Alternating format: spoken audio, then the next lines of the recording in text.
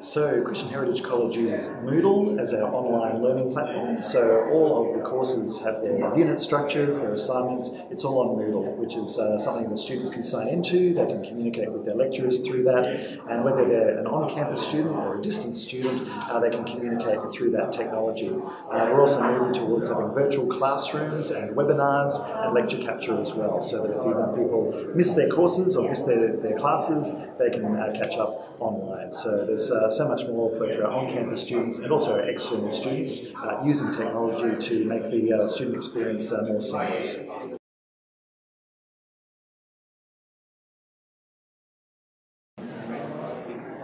Students need a range of experiences and skills to really be job ready. Uh, it's important to uh, take advantage of any internship or practicum opportunities during courses, uh, particularly in business, social sciences, uh, teaching.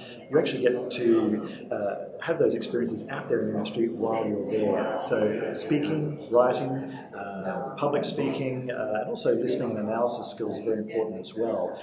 we're finding in liberal arts that people who can understand classics, people who understand logic, history, literature, philosophy, they are great skills to have in any profession, uh, whether they go into business, government, uh, or even higher education themselves. So uh, it's those real practical skills uh, as well as the professional knowledge that you'll gain that will uh, get you ahead.